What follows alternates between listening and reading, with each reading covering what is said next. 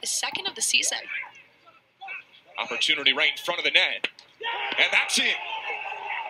Charlie Holmes. Coach Brandt has mentioned has skills.